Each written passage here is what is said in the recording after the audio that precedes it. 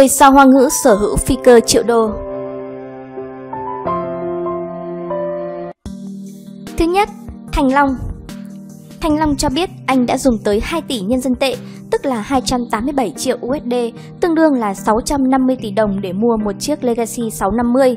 Máy bay có 13 chỗ ngồi, 3 khoang, bên trong được trang trí rất lộng lẫy như một khách sạn cao cấp, có phòng bếp, phòng ăn, nhà tắm, kho chứa đồ và một phòng giải trí có đầu DVD và các thiết bị điện tử khác. Trên cánh của chiếc phi cơ có khắc chữ Long, khẳng định quyền sở hữu của ngôi sao võ thuật với chiếc máy bay này. Tạp chí Rope Report của Mỹ từng nhận xét chuyên cơ của Thành Long là phi cơ cá nhân đẹp nhất thế giới. Trả lời phỏng vấn, Thành Long chia sẻ, có máy bay riêng khiến ông tiết kiệm được rất nhiều thời gian, cũng có thể tiếp đãi nhiều bạn bè nghệ sĩ hơn. Anh tiết lộ phi cơ của mình từng chở những người nghệ sĩ lớn như G-Dragon của Hàn Quốc. Tuy nhiên, có máy bay riêng cũng có những phiền phức khác. Mỗi đường bay lại yêu cầu giấy phép và thu phí. Dựa vào lộ trình, thời gian cũng như tần suất bay thì thu phí lại khác nhau. Thứ hai, Lý Liên Kiệt Ngôi sao võ thuật nổi tiếng này sở hữu một chiếc máy bay xa hoa trị giá 30 triệu nhân dân tệ, tức là 4,3 triệu USD, tương đương là 100 tỷ đồng. Bên trong máy bay bài trí rất lộng lẫy, có đủ các đồ sinh hoạt cá nhân. Nam diễn viên chia sẻ việc có máy bay riêng thuận tiện hơn cho hoạt động của mình và cũng giúp anh có nhiều thời gian nghỉ ngơi hơn. Thứ ba, Lưu Đức Hoa để tiện cho hoạt động lưu diễn, Lưu Đức Hoa đã sắm cho bản thân một chiếc máy bay trị giá 80 triệu nhân dân tệ. Ngôi sao chia sẻ, có máy bay riêng khiến anh không cần lo đến việc đặt vé và bị hoãn chuyến bay, đồng thời cũng thuận lợi hơn trong việc đi đến Malaysia thăm nom gia đình nhà vợ.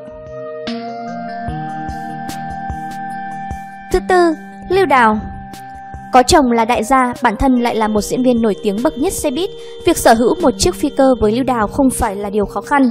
Cô đã đầu tư khoảng 300 triệu nhân dân tệ, tức là 43 triệu USD, tương đương là hơn 986 tỷ đồng để mua một chiếc Falcon 2000EX. Bên trong máy bay trang trí rất lộng lẫy, có giường, sofa, phòng bếp, phòng tắm, đầu DVD, điện thoại, máy phách, thậm chí có cả đầu phát wifi.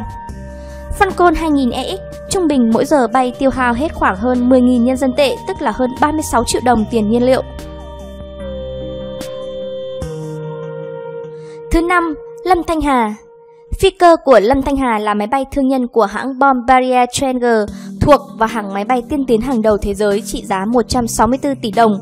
Bên trong máy bay được trang trí rất lộng lẫy, chỉ có 10 chỗ ngồi, mỗi chỗ ngồi đều có thể chuyển động 360 độ, các chi phí bảo hành và tiền công cho cơ trưởng cùng nhân viên phục vụ cũng rất đắt đỏ. Thứ 6. Triệu Bản Sơn Triệu Bản Sơn là khuôn mặt tiêu điểm của các chương trình chào xuân của Trung Quốc. Danh hài đắt giá này đã bỏ ra gần 200 triệu nhân dân tệ mua một chiếc máy bay hành khách cỡ nhỏ do hãng Bombardier của Italia sản xuất. Sức chứa là 17 người, Mỗi ngày tiền bảo hiểm và bảo dưỡng cùng với tiền công cho các nhân viên làm việc lên đến 5 triệu nhân dân tệ, tức là 16 tỷ đồng. Phí nhiên liệu là 15.000 nhân dân tệ, gần 50 triệu đồng một giờ. Những khi không phải lưu diễn, ông dùng chiếc máy bay này cho thuê, mỗi năm thu về khoảng 15 triệu nhân dân tệ. Thứ bảy, Huỳnh Hiểu Minh Huỳnh Hiểu Minh chia sẻ, do thương Angela Baby phải vất vả đi lại, anh đã bỏ ra 30 triệu nhân dân tệ, tức là gần 100 tỷ đồng để mua cho cô một chiếc phi cơ. Angela Baby từng đi chiếc máy bay này tới New York, London và Paris tham gia tuần lễ thời trang. Chiếc máy bay cũng đã xuất hiện trong chương trình Running Man bản Trung Quốc hồi đầu năm ngoái. Thứ 8. Phạm Băng Băng Phạm Băng Băng ngày càng nổi tiếng, từ ngôi sao hạng A của xe buýt, cô vươn lên thành một trong những ngôi sao châu Á nổi tiếng thế giới. Để thuận tiện cho việc đi lại tham gia các hoạt động, nàng Kim Tỏa đã bỏ ra hơn 20 triệu nhân dân tệ, tức là 65 tỷ đồng để mua một chiếc máy bay cỡ nhỏ. Thứ 9. Châu Kiệt Luân Chiếc Boeing 737 của ông Hoàng nhạc pop châu Á có giá trị lên đến 100 triệu nhân dân tệ, tức là 328 tỷ đồng. Bên trong có phòng ăn, phòng tắm, đầu DVD. Thứ 10. Phùng Tiểu Cương Đạo diễn Phùng Tiểu Cương cũng sở hữu một chiếc N7259 trị giá 10 triệu nhân dân tệ.